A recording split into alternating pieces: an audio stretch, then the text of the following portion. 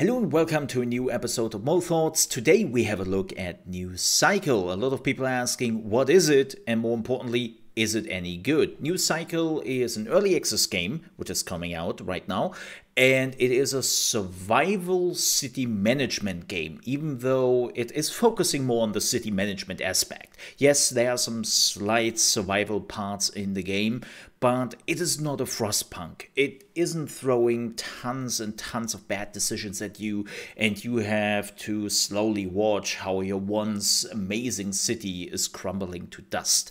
That is not happening here. It is actually the opposite, where you are starting to have uh, humanity coming back from the brink of annihilation and slowly lead them to former glory right? That's the premise of the game, so it's definitely focusing more on the city building and management aspect. And I like to compare it with Anno meets the Fallout universe because it actually plays like the Anno games. That means you have a, a lot of workers who are living in a small hamlet and they are just happy to be there, right? They want some food, they want some water, and they want a roof over their head, and they're happy with that. But later on, you will get more people. You will have people with um, different tiers, right? You can upgrade your workers to the next higher tier. And when you do that, well, they want more stuff, they want more luxuries, and you have to provide them, or people will get pissed, and that spells disaster. So you don't want to do that. Again, very close to how the Anno series is functioning.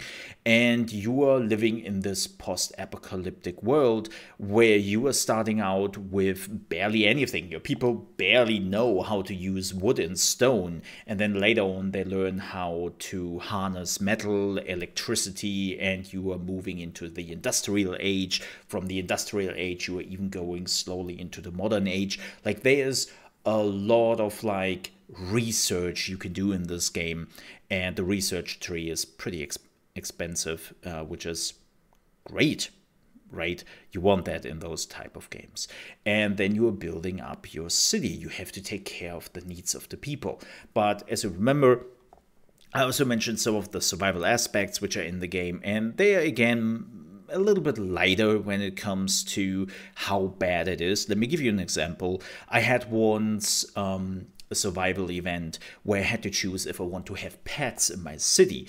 And when I do that, well, I will increase the morale of the people. And the pets will also take care of vermin so that they don't have like some medical emergency at some point because they're killing all the vermins, right? And but the downside of all of this is that unfortunately I need 20% more food on every single day. So if you cannot really produce that amount of food, then you shouldn't do that. And if you're deciding not to take in the pets, you are getting some um, minus of morale, you have a higher chance of getting a medical emergency through the vermins running wild, wild, and so on and so forth, right? So you have to make some decisions, but it's not all bad. You pick your poison and there might be some good stuff coming with it, but there also might be a few things you have to look out for. Another thing I really, really want to point out in this game, which they're really doing, um, they're doing really well, is the interface. The interface in this game is so snappy. It is like giving you tons of information on what the hell is going on. It feels really good. Like those type of games rise and fall with the interface, with the UI, right? And this game has just nailed it. And as I said, when you were clicking like on um, the information you need, like how many resources you are producing, where the resources coming from, where do you utilize the resources? Are they being used on a daily basis by your people? Are you just using them to build buildings? Something like that, right? You can exactly follow the resource and you know exactly what is happening in your city. So you never can argue that, oh man, we did run out of food. I didn't saw that coming. No, you will see it coming and you just decided not to act on it. So again, they're doing a fantastic job on that. Love it. Now you might ask, okay, this sounds all pretty great. Are there any downsides to this game? Yes, there are. But the really interesting part here is the downsides I've been seeing so far is not bugs, I think I had one single bug which wasn't even important. It was like some graphical glitch I had for like two seconds, so didn't really matter. Um, but the really problem this game has is a bit of balance fine tuning. Yes, that's the point we're at. My biggest complaints will be some balance issues, which, let's be honest here, that's great because that's easily fixable, right? So let me tell you about two of the balance issues which are also connected and which have been my biggest gripe right now. But again, that's fixable, right? So first, let's talk about production. Production in this game takes a lot, which makes sense. It's like Anno, right? You have to build multiple buildings of the same type to really get the production running and have enough resources for the people living in your city. But I still believe it's not enough what the buildings are producing. Too often you are not producing enough, even if you are changing like um, how much work people have to put in and how high the morale is and all that. Like I'm at the maximum of morale all the time and I have decent work hours they have to put in, but I still feel sometimes I'm not producing enough resources, so I have to build more and more resource buildings. The problem is, and this leads us to the second gripe I have with the game, you need more people for that. And people do not grow on trees. Especially at the beginning, they're coming in random, or you have to wait till your people became adults.